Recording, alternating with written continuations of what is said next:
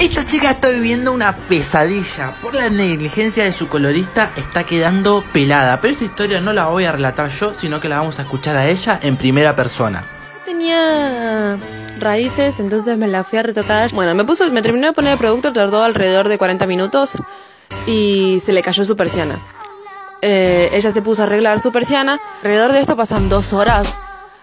Y bueno, tuvo que ir a la bacha a lavarme el pelo. Eh, ella me enjuagaba los pelos y yo tenía los ojos cerrados, entonces no veía qué estaba haciendo. Y atrás mío yo tenía un tacho de basura, que es la foto que yo te mandé.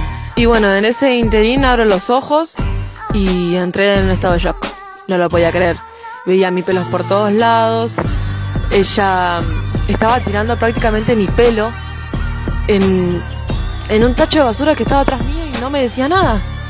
Eh, bueno, le digo que me deje de tocar, que me estaba dejando prácticamente pelada. Empiezo a mandar mensajes desde